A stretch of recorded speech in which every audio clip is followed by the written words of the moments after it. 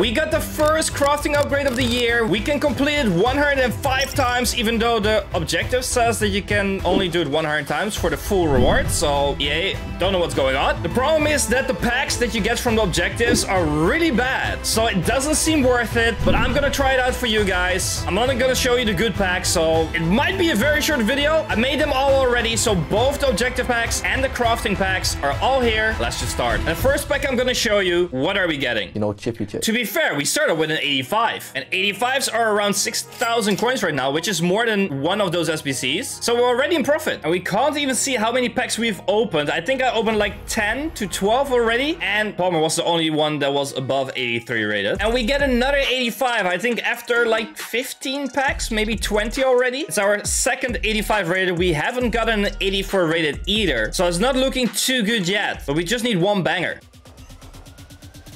But the next one, right after, is a walkout. Oh!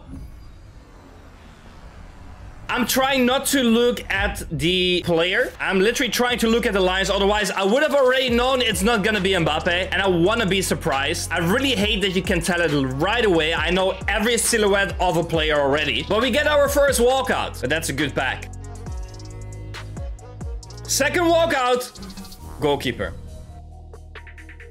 Unai Simon. But hey, I'll take a walkout. If we get them multiple times, if we can... I don't know. How many walkouts will be fair? We got two so far in probably 30 packs. I'd say if we end up with like six walkouts, I'm happy. Which isn't worth it at all since this costs more than 500,000 coins.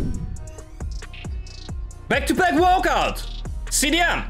Sure, Oberdorf then. You know what? Back-to-back -back walkouts from these packs. That's really good. I say really good. It's fodder. But to have back-to-back -back walkouts, I would call that very good. I just double-checked. We only opened 30 packs so far. I thought we opened already more, but it's only 30 so far. So actually, it's not too bad with how many walkouts we got so far. Oh, we actually get an inform. Obviously, it didn't walk out. I think this is like pack 35. And we now got a few walkouts and an inform already. That's actually really not bad because they're like 14,000 coins right now, I think. And potentially with Black Friday, it might go up a lot. Last year, there were 50,000 coins during Black Friday. So it could save us a lot of coins. Oh, two packs later, an 85 and, well, the same inform. But that's really good. We're slowly getting the value back of what we spent. Like, we get guaranteed 200,000 coins back worth of players. But these kind of things add up quite quickly. Another 85, I'll just show you it. Otherwise, it might still be a three-minute video. And 85s are worth 6,000 coins, so it's actually worth to show. We just haven't had a special card for the tunnel yet. Like, we had some informs, but they didn't walk out. But talking about walkout, what a timing! Lewandowski, that's sick! What a timing, by the way. 88 rated Lewandowski, let's go! That would be worth around 16,000, 17,000 coins. Just 20 more of him and we pretty much make the money back. Okay, we're halfway there now with the 75 times 3. We got five walkouts, I think, and two team of the weeks, and a few 85s. I don't think that's bad at all so far. And we got to go to Antony. Okay, we do get another 85. That's a good start from the second half of the packs. Walkout. She is tiny. That is Debinha. For early in the game, she would have been good. Right now, it's just fodder. But that's another 88 rated. And by the way, if you go to the comments, there's a pinned comment where I ask you guys, what did you get out of the crafting upgrade if you did it? The more we share, the more other people know who might not have done it yet, if they should do it, yes or no. Walkout. CDM. Saka. it's like one of the worst walkouts. But we finally get another walkout. I think we had like 20 packs without anything to show. We got 14 crafting upgrade packs left, and then we go to the objective packs. So the second half has been quite dry, but we still have 14 to go. Okay, we do get another 85. I just want one more walkout out of the last 10 crafting upgrade packs, and then preferably one or two from the objective packs. And obviously the main goal would be a Centurion card, but I kind of gave up on that. It would get packs like this constantly. This is gonna be the last crafting upgrade pack. Then we have the objective packs, and objective packs weren't that good at all.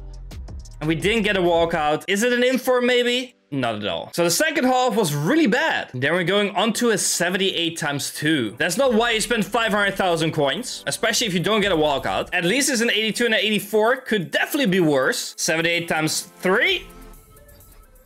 Also not a walkout. And this one is worse. Then we go to a 78 times 5. Not a special card. Not a walkout. Is it at least 84 maybe? No. 80 times 3. That is absolutely trash. That is really bad. 81 times 3, come on.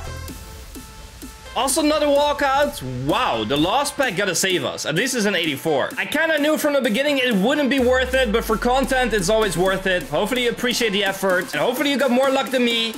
Can we end on a bang? No. Not at all. This is like 550,000 coins worth of packs. And with the amount of plays you get back, it's guaranteed like 200,000 coins worth of like just gold rare players, which really have a value. And with everything we got, maybe we got an extra 100k, mainly because of the informs and 88 rated. So it was worth the risk, but in general, it wasn't worth it. Again, let me know in the comments what you got, if you did it, or if you're gonna stay away. I just hope you won't stay away from my videos in the future because there will be many more to come. Thank you for watching, guys, and hopefully see you in the next one.